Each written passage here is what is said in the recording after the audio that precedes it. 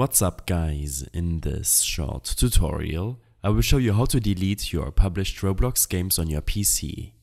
This should be quite an easy tutorial, for more information click on the first link in the description below. In order to delete a published game, open up Roblox Studio and close the game you are working on. To do this, simply close the Game tab on the top of your Roblox Studio window.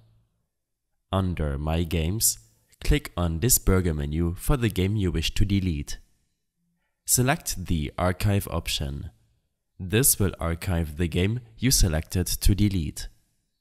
In case you archived the wrong game, then you can undo this action at the bottom of the screen.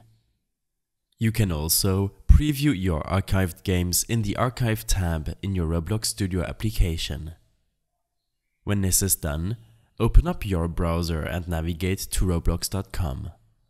Here, log in with your Roblox account and verify that your game is deleted. Navigate to the Create tab in your Profile section. Here, you'll be able to see that your Roblox creation will be removed from your published games list.